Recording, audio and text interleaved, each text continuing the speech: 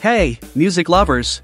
Welcome back to our channel. Today, we're diving into the world of Name That Tune, the electrifying game show that puts contestants' musical knowledge to the test. With its catchy tunes and thrilling competitions, fans are eagerly awaiting news about Season 4.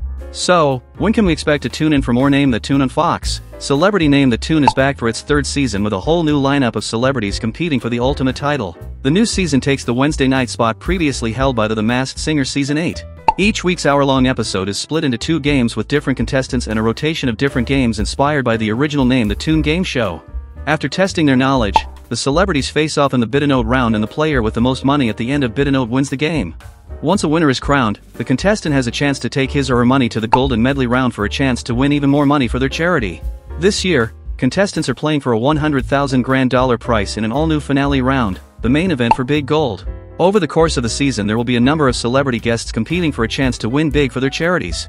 This season's guests include Olympians, actors, singers, sports stars and reality stars hoping to last until the final note. Randy Jackson and Jane Krakowski return to Celebrity Name That Tune for Season 3. Grammy Award-winning producer Jackson serves as the show's band leader while Tony Award-winning Krakowski keeps things moving as the host. Name That Tune Season 4 will release on June 3, 2024.